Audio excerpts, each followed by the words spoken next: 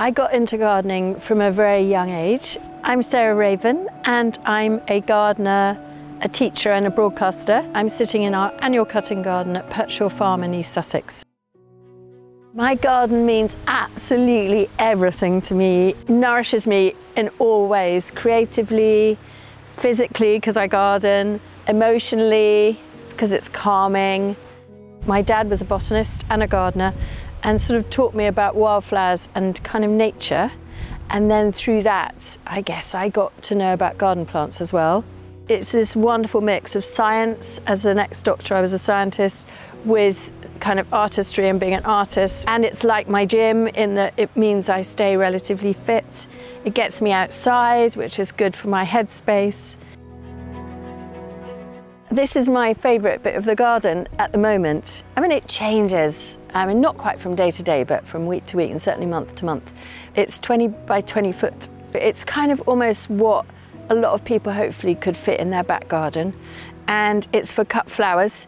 And so everything is cut and come again. So the more you pick, the more they flower. And it starts with like hardy annuals, which is this honeywort and salvia and the marigold, the calendula. And then it moves on to dahlias and the cup and saucer plant and things like that. So it sort of, I've thought about it quite carefully and designed it, but it's, I'm sort of looking after it day to day and tying it in and staking and picking. And that's the point. It's from here, goes into the house and into a vase. And I just think it's looking so nice at the moment.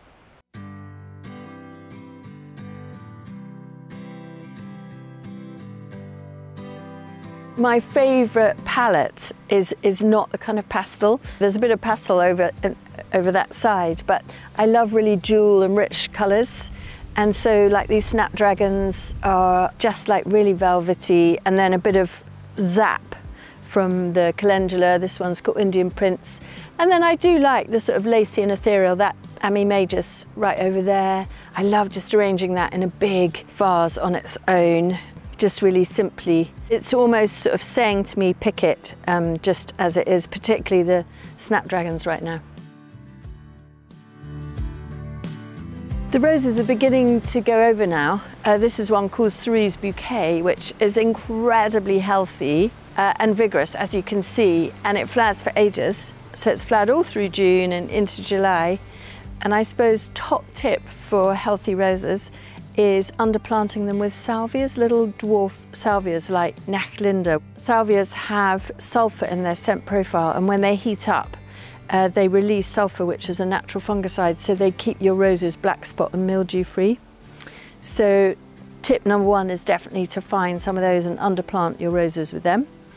Um, Tip two, keep them really well fed, so mulch them incredibly well in the winter.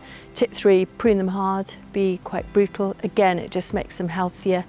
Tip four, keep feeding them. So keep feeding and watering, ideally. So if you've got a hosepipe ban, you can't, but use the, your bath water and just slosh that over your roses.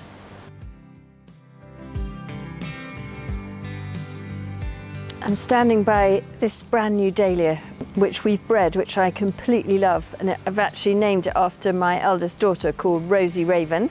Top tips, well, I really currently am incredibly into dahlias for containers. So if you want a dahlia for a container, you want to go for one less than a 90, but ideally 75 centimetres. And that's what this is, which is why I love it so much. Really, in terms of tips, you don't need to lift them unless they're in pots. So if they're in containers, you do need to store them somewhere cool and dry through the winter and then plant them again in the spring. If they're in the garden, just mulch them really deeply, a good sort of 15 centimetres of compost, and then pick, pick, pick, pick, pick. That's the thing, is that they're cut and come again, and you either have to deadhead or live head them, and as far as I'm concerned, what's the point of taking the dead heads? You might as well take the live heads and take them into the house.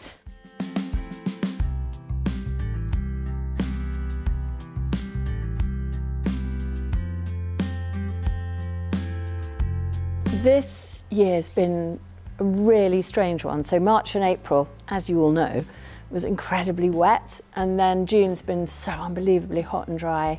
Things sort of, seem to be stabilising a bit. In terms of the veg, I think it's it's been quite a struggle because when it was really wet, um, just things like the tomatoes just weren't really growing because the light levels were so bad. But um, since then, well, in June it was really good, and the tomatoes have just loved the heat in the greenhouse here, um, and the cucumbers and the aubergines. The aubergines are bigger than I remember at this stage in the year. Basil's been pretty good. Um, so it's exciting for me because we're just starting to pick the first tomatoes. So I'm mainly surrounded by green tomatoes, but um, I had the first ripe tomato for lunch today.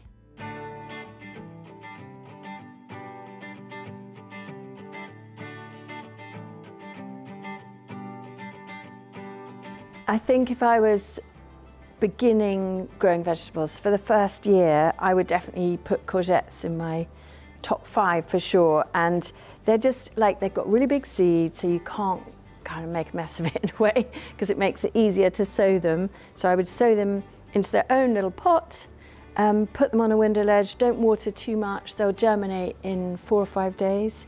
And then just literally just take that plant out of the pot and put it in the ground with lots of manure um, below the roots and then they just grow. And the key thing with courgettes is don't let them turn into marrows. So pick them the size of the base of your thumb. So from the top to the base rather of your thumb. And that's really small, much smaller than you get in a supermarket. But the point with courgettes is they're cut and come again. The more you pick, the more they'll crop. And by leaving them to get bigger, it actually slows them down. So just keep pick, pick, pick, pick, and pick more. I pick them probably four or five nights a week. We have courgettes at the moment for supper. So for supper tonight, I'm going to have globe artichokes, and I feel like not enough people grow them in this country. And with climate change, they're really thriving. They've just loved it because they're Mediterranean and because it's hot and dry. They're really, they're so plump. They're perennial, so they're really low maintenance. And so they're a perfect thing for an allotment because you can plant them and then in sort of from the middle of May until kind of the middle of July, you can take one of these whenever you go to the allotment for your supper. Um, and then you cut them right to the ground, including the leaves, and that makes them reshoot and they give you a second crop in August, September time. And so even though they're not cut and come again, they give you really, a really, it's kind of incredible harvest.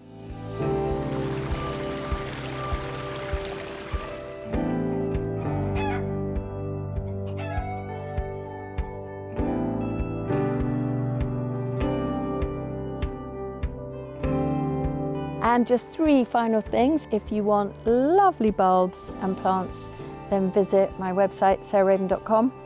I've got a new book out on how to grow the most productive and easy veg. And come and visit the garden. We're open uh, four days in August and four days in September, which you can book online at sarahraven.com.